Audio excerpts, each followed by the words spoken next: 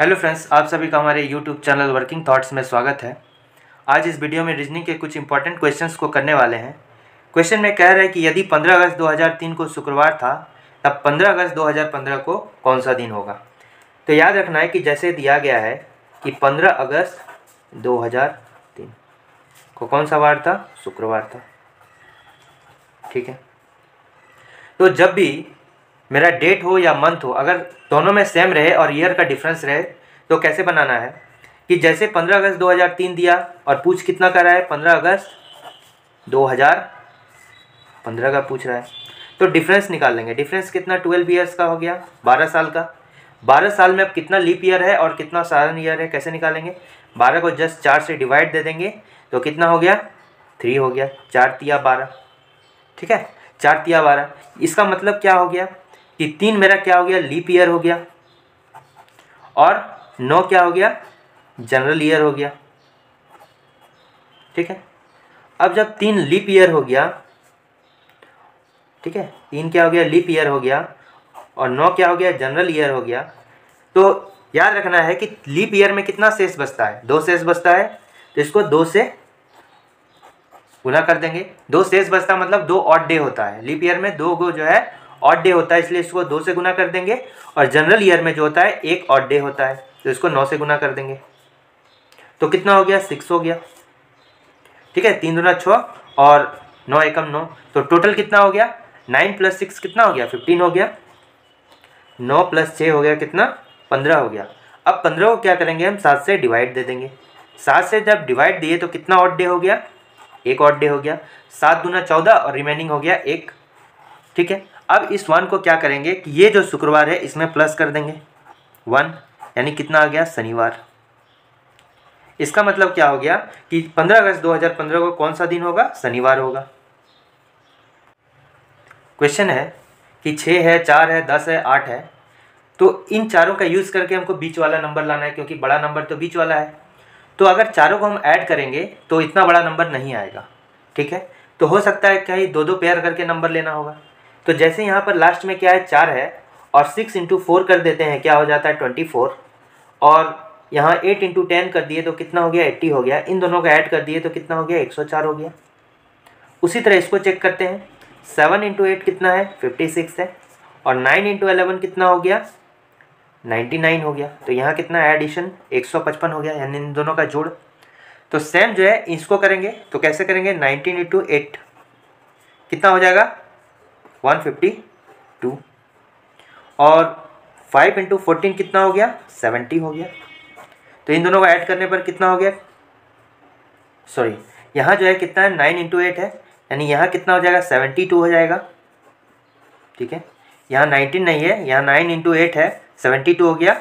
और ये क्या हो गया? सेवेंटी हो गया। यानी वन फोर टू, एक सौ बयालीस यहाँ पर आंसर होगा, एक सौ बयालीस। ठीक है? One forty two is the correct answer option number D is the correct answer ये जो है मिसिंग नंबर है। तो क्वेश्चन मार्क की जगह में क्या होगा? हमको ये बतलाना है। तो यहाँ पर देखिए, हम देख के पता लग रहा है कि ये जो है कितना है? दोगुना है। ठीक है? और यहाँ भी क्या है? दोगुना है। फिर यहाँ का दोगुना है। यहाँ देखते हैं तो कितना हो गया? तिगुना हो गया। ठीक है? आगे नहीं पता। यहाँ देखते हैं चार गुना है। यहाँ भी चार गुना है और यहाँ भी क्या है? फोर टाइम्स है। तो ये जो है, इस सीरीज़ अगर इस रो की बात करें तो ये दो गुना। फिर यहाँ पर सभी में चार गुना है। तो यहाँ भी क्या हो जाएगा? तिगुना हो जाएगा, यानी कि पैंतालीस, पंद्रह तिया पैंतालीस। अब अगर तिगुना करने पर कितना गया? पैंतालीस तिया कितना हो गया? एक सौ पैंतीस। यानी ये जो है, यहाँ क्वेश्चन मार्क की जगह में क्या होगा? पैंतालीस होगा। Option number A is the correct answer question में कह रहा है कि त्रिभुजों की संख्या ज्ञात करें। ठीक है? तो ये जो ट्रायंगल दिया है, इसमें हम कैसे त्रिभुजों की संख्या ज्ञात कर सकते हैं? अगर हम इसको देखें तो ये बीच वाला जो सेप है कुछ इस तरह का है। ठीक है? ठीक है? तो इसमें त्रिभुजों की संख्या कितना होगा? इसमें नंबरिंग कर देंगे। वन टू थ्री और फोर और जो मैक्सिमम नंबर इसमें कितना है? चार। चार को हम जस्ट दोगुना कर देंगे, आठ। तो इसमें टोटल नंबर ऑफ़ ट्रायंगल्स कितना हो जाएगा? आठ। यहाँ भी इसी टाइप का सेप है, आठ। एक ये बड़ा वाला। एक। और एक ये वाला। पूरा ऊपर तक। ठीक है? अब क्या हो गया? इसमें देख लेते हैं। ये वाला कितना होगा यहाँ पर? एक त्रिभुज है और एक शीर्ष से बेस पर लम डाला हुआ है। तो इस टाइप के ट्रायंगल में कितना होता है? तीन होता है। तो इधर भी तीन और इस साइड भी ऐसे है। और इधर भी कितना हो गया? तीन हो गया। तीन प्लस तीन। ठीक है? एक ट्रायंगल जो है, ये भी है। और यहाँ से क्या डाला गया है? लम डाला गया है बेस पर। तो यहाँ पर भी कितना होना चाहिए? तीन होना चाहिए, लेकिन हम यहाँ कितना लेंगे? दो लेंगे। क्योंकि इस ट्रायंगल में जो है, ये वाला काउंट हो चुका है। तो प्लस टू और इधर भी जो है, ये एक ट्रायंगल है। और ये जो है कितना है? शीर्ष से यहाँ से लम डाला गया है। ठीक है? तो इसमें भी तीन ना लेके दो लेंगे, क्योंकि इसमें जो है एक काउंट कर चुके हैं, दो। ठीक है? एक जो है मेरा ट्रायंगल ये वाला होगा। ठीक है? और एक ट्रायंगल क्या होगा? ये बड़ा वाला होगा। और एक ट्रायंगल जो है, ये बड़ा वाला होगा। तो कितना हो गया टोटल तीन ट्रायंगल एक्स्ट्रा हो गया। एक ट्रायंगल ये वाला हो गया। एक ट्रायंगल मेरा ये वाला हो गया। तो कितना हो गया? दो। ठीक है? अब क्या है? एक ट्रायंगल जो है मेरा ये वाला हो गया, एक ट्रायंगल ये वाला हो गया और एक ट्रायंगल क्या हो गया, ये वाला हो गया, ठीक है? प्लस दो। तो टोटल नंबर ऑफ़ ट्रायंगल कितना हो गया, देख लेते हैं। आठ प्लस एक नौ, दस और छः सोलह, चार, सोलह और चार बीस बीस और सात। बीस और सात कितना हो गया सत्ताईस तो इस आकृति में कितने नंबर ऑफ़ ट्रायंगल्स है? ट्वेंटी सेवन ट्रायंगल्स है। Option number C is the correct answer.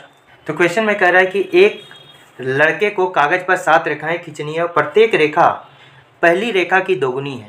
यानी कि क्या हो गया कि पहला रेखा कितना हो गया? दो हो गया यदि। तो सात रेखा है और पहले रेखा का अगर दो हो गया और सभी रेखा जो है, पहले रेखा का जो है दोगुना होगा। यानी दूसरी रेखा कितना हो जाएगा? चार हो जाएगा। तीसरी रेखा इसका दोगुना आठ हो जाएगा। चौथा रेखा क्या हो जाएगा? इसका दोगुना सोलह हो गया। इसका दोगुना बत्तीस हो गया। इसका दोगुना क्या हो गया? चौंसठ हो गया। और इसका दोगुना एक सौ अट्ठाईस हो गया। यही सातवां रेखा कितना हो गया? एक सौ अट्ठाईस सेंटीमीटर का हो गया। ठीक है? अब इसको अगर सॉट्रिक से बनाना है काफ़ी अगर लंबा रेखा के बारे में पूछ दिया 120 रेखा है 120 तो ऐसे करके तो नहीं देखेंगे। तो इसमें क्या करना है? शॉर्ट टर्म में देखते हैं तो ये जो प्रोग्रेशन है, जैसे दो हो गया, चार हो गया, आठ हो गया, जो पहले का दोगुना हो गया, सोलह, ऐसे करके मान लेते हैं सेवन टर्म तक है। सेवन टर्म क्या होगा हमको फाइंड आउट करना है? यानी ये जो प्रोग्रेशन है, ये जीपी में है जोमेट्रिक प्रोग्रेशन है। तो इसमें एन टर्म निकालने का फॉर्मूला क्या होता है? कि A R N minus one. तो एन की जगह में क्या है? सेवन टर्म निकालना है हमको। तो ए के जगह में क्या है? ये फ़र्स्ट नंबर है। ए के जगह में फ़र्स्ट नंबर यानी कि टू दे देंगे। ठीक है? और फिर उसके बाद क्या है? आर क्या हो गया? डिफरेंस हो गया। तो डिफरेंस नहीं, ये रेशियो हो गया। आर का मतलब क्या हो गया? कि जैसे दोगुना है तो यहाँ देखते हैं, अगर हम पहला बार देंगे तो टू ही आएगा। एट को जो है फोर से डिवाइड देंगे तो टू आएगा। तो जो रेशियो है, दोनों के बीच में क्या है? कितना का मल्टीपल है? वो हो गया टू का मल्टीपल है। आर जो है आर का वैल्यू टू हो जाएगा। तो आर की जगह में टू दे दिए। और एन के जगह में कितना है? सेवन माइनस वन हो गया सिक्स यानी ये कितना हो गया? ये दो गुना चौंसठ. यानी कितना हो जाएगा? एक सौ अट्ठाईस. ऐसे भी आ जाएगा। ठीक है? तो इसमें मतलब कहने का मतलब क्या अगर छोटा रहेगा तो हम ऐसे भी ड्रॉ करके यहाँ करके देख लेंगे, लेकिन बड़ा संख्या आ गया तो उसमें हमको फॉर्मूला चाहिए तो ये फॉर्मूला का यूज़ कर लेंगे। तो option number A is the correct answer तो यहाँ पर क्वेश्चन कर रहा है कि यहाँ पर दो डाइस दिया गया है। ठीक है? डाइस दिया गया है। यानी कि पासा। इस दोनों डाइस में जो है, क्या है? ये ग्रे है ब्राउन है ब्लू है रेड है ब्लू है ग्रीन है। तो दोनों डाइस में हमको पता लगाना है कि नारंगी के विपरीत कौन सा रंग है। तो इसमें एक काम करना है कि पहले हमको कॉमन ढूंढना है दोनों डाइस में। तो कौन सा जो है कॉमन है? यानी कि दोनों में एक टर्म होगा जो दोनों में होगा, एक ही टर्म होगा। तो इन दोनों में अगर देख लें तो इधर क्या है? ब्लू है और यहाँ क्या है? ब्लू है। इन दोनों में क्या है? ब्लू कॉमन है, बाद बाकी कोई भी कलर कॉमन नहीं है। तो इस तरह के प्रॉब्लम में क्या करते हैं कि जब भी दो डाइस में एक टर्म कॉमन हो जाए तो क्या करते हैं कि उसके घड़ी के दिशा में चलना शुरू करते हैं। ठीक है? जैसे यहाँ पर क्या है? ब्लू है। और ब्लू से क्या है? कि अब हम इसमें घड़ी के दिशा में चलना स्टार्ट करेंगे। तो ब्लू से हम क्या जाएँगे इसमें? पहले वाले डाइस में ग्रे जाएँगे। और ग्रे से कौन सा कलर जाएँगे? इधर फिर जाएँगे ब्राउन जाएँगे। ब्राउन चले गए। ठीक है? इसमें इसी तरह ब्लू से क्या आएगा? अगर क्लॉकवाइज चलेंगे, घड़ी के दिशा में चलेंगे तो इधर आएँगे, फिर इधर से इधर जाएँगे। यानी फिर ब्लू टू यहाँ पर क्या जाएँगे? ग्रीन जाएँगे। और ग्रीन से कहाँ जाएँगे? रेड जाएँगे। ठीक है?